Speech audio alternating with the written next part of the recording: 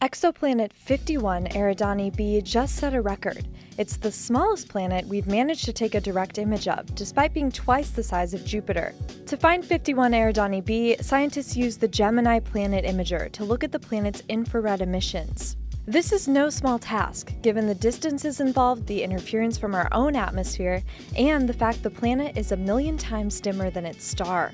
As one of the researchers put it to the Washington Post, you're basically looking for a firefly that's really close to a flood lamp, standing about a mile away and looking through a glass of water. We've found most of the exoplanets we know about with NASA's Kepler telescope. It searches for the shadows an orbiting planet creates in front of its host star.